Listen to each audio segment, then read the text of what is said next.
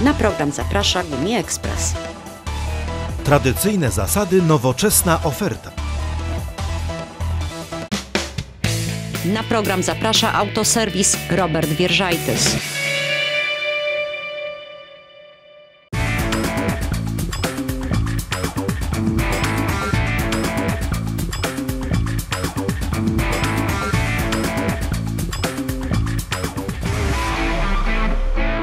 Dzień dobry Państwu, Dariusz Woźniak, witam serdecznie w kolejnym odcinku magazynu Zakołka. Szanowni Państwo, jest zimno, wieje, a ma być jeszcze zimniej. I za moimi plecami widzą Państwo myjnię e, samoobsługową, e, czyli pytanie nasuwa się au- automatycznie samo, e, czy w taką pogodę myć nasze auta. Zapraszam serdecznie do obejrzenia dzisiejszego odcinka. Szanowni Państwo, wiele jest obiegowych opinii o tym, czy w zimę e, myć auto, przy jakiej temperaturze zaniechać tej czynności.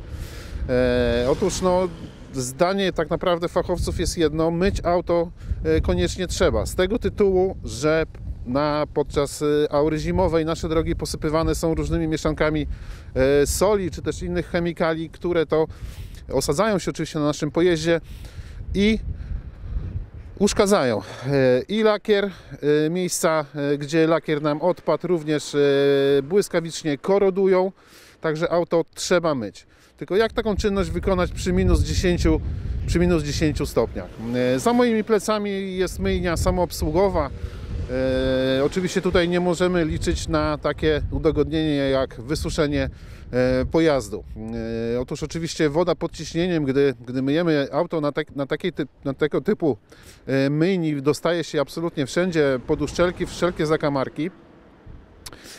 E, oczywiście możemy umyć. E, przy pewnych temperaturach e, to mycie też mały r- rezultat daje, gdyż na, na zmrożony samochód polejemy wodą, oczywiście błyskawicznie pokrywa się e, lodem e, nasza karoseria. E, Oczywiście, jeżeli szybko przejedziemy do garażu, ta woda jest w stanie oczywiście odparować i to auto będzie czyste.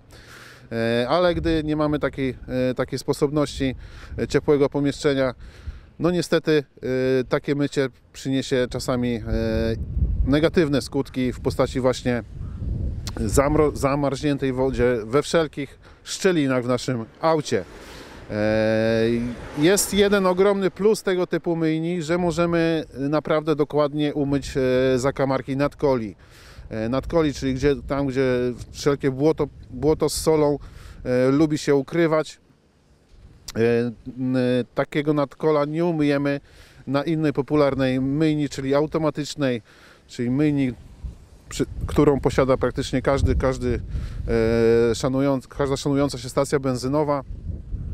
E, w takich porach zimowych jak dzisiaj e, taka myjnia to jest e, absolutne minimum, e, które powinniśmy, na które powinniśmy wydać pieniążki. Oczywiście e, kwestie finansowe, myjnia automatyczna, droższa, ale możemy liczyć na chociaż względne wysuszenie e, naszego auta. E, Czy po takiego typu myjni, czy po myjni automatycznej, oczywiście e, pewne czynności powinniśmy wykonać w naszym samochodzie. To jest wytarcie uszczelek, zakonserwowanie, a przed, a przed samym przystąpieniem do mycia może warto zabezpieczyć chociażby zamki w naszym, w naszym aucie, zakleić tasiemką na czas, na czas mycia. E, gdyż woda z takiego kompresora e, potrafi naprawdę głęboko wniknąć w zamki i po mroźnej nocy będziemy mieli ogromne problemy e, z otwarciem drzwi naszego samochodu.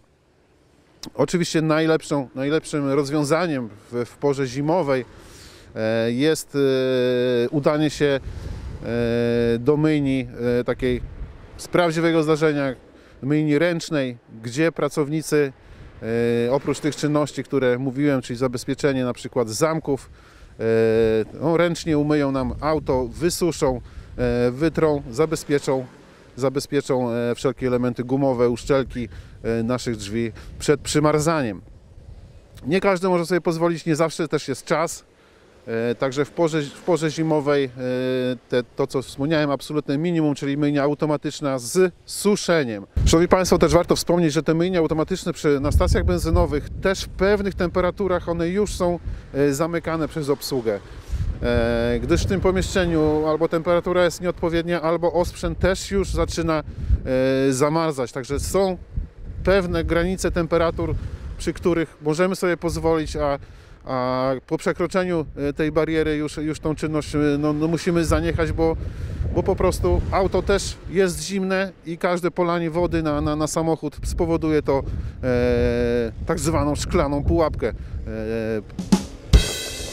o aucie. Szanowni Państwo, takie, że największym wrogiem w, te, w, te, w tym okresie zimowym oczywiście jest te, ten- ta, ta chemia na drodze e, wysypywana przez drogowców.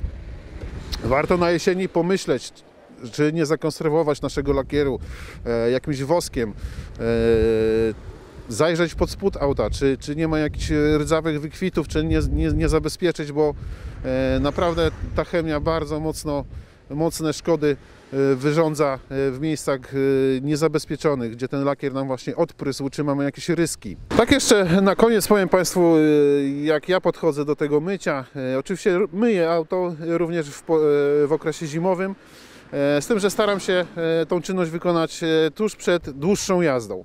Dłuższą jazdą, czyli no gdzieś w trasę jadę i przed taką trasą e, na myjnie e, zaglądam w, takim momencie. Gdyż jazda, e, mimo że powietrze zimne na minusie, e, to również wysusza. Również wysusza auto, również te, te zakamarki e, stają się suche. E, Nigdy nie robię, że myję auto i zostawiam na noc e, już bez jazdy. Także, Szanowni Państwo, odpowiadając na pierwsze pytanie na wstępie magazynu, mm, myć trzeba, gdyż pozbywamy się całej tej soli y, i innych, innej chemii z naszego pojazdu.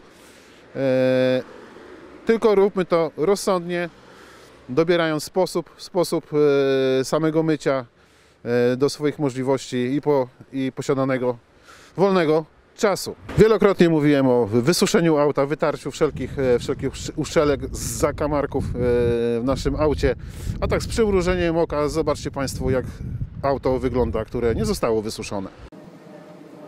This is a car in front of my building that somehow froze. Dziękuję serdecznie Państwu za uwagę, życzę czystych aut i wyższych temperatur. Do zobaczenia za tydzień.